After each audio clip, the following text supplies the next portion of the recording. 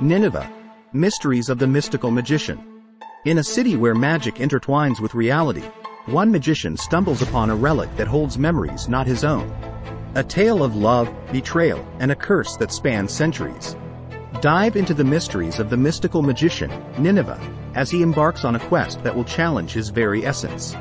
Are you ready to uncover the secrets of the Enchanted Locket?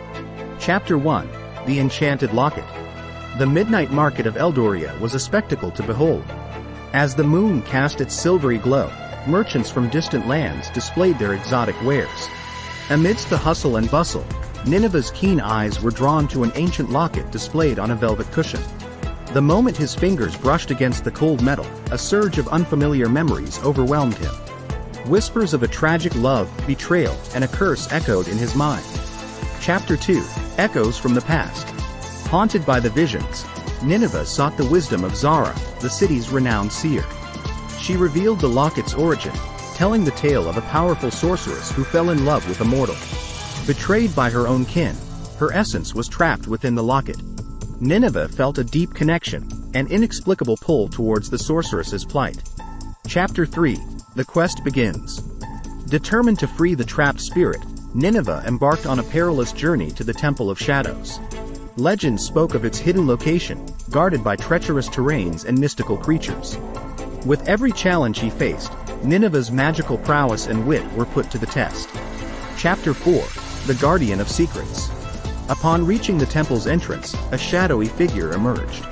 The Guardian of Secrets posed riddles that Niniveh had to solve to gain entry. Using his charm and intelligence, he navigated the Guardian's challenges, earning its respect. Chapter 5 the price of freedom. Inside the temple, Niniveh discovered an ancient altar. As he placed the locket upon it, the room illuminated with a blinding light, revealing the ethereal form of the sorceress. To break the curse, a sacrifice was required. Torn between his mission and the looming cost, Niniveh reflected on the weight of freedom and the chains of destiny. Chapter 6 Embracing Destiny With a heavy heart and unwavering resolve, Niniveh made his choice. The curse shattered, releasing the sorceress's spirit. As she thanked him, her form dissipated into a myriad of shimmering lights, merging with the cosmos. Eldoria felt the ripple of Niniveh's sacrifice, and his legend grew, not just as a magician but as a selfless hero.